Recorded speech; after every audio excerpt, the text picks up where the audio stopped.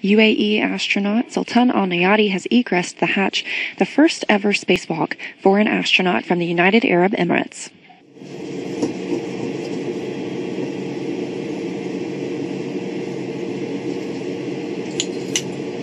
اسمي عبد الله سلطان النيوتي مرحبتين هلا هلا ابو حميد شو اكثر شيء حبيته في الارض والله يا حبيبي عبد الله اكثر شيء احبه في الارض طبعا انتم هذه المدينة المنورة.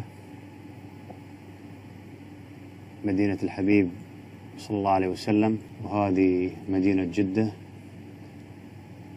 عروس البحر الأحمر. وبجنبها بيت الله الحرام Al Neyadi demonstrated the process of shaving in space. He uses a specially designed trimmer with a suction device to prevent loose hairs from floating and contaminating the microgravity environment inside the ISS.